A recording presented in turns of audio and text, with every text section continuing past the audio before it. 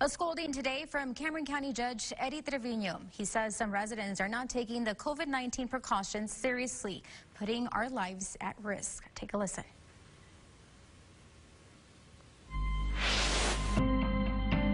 Um, people are dying. The number of cases in our own county has doubled in the last several days. We anticipate as these tests continue to take place, we're going to continue to have increases in the number of positive uh, coronavirus patients here in Cameron County. Our hope at the end of the day is that we don't lose not one of them.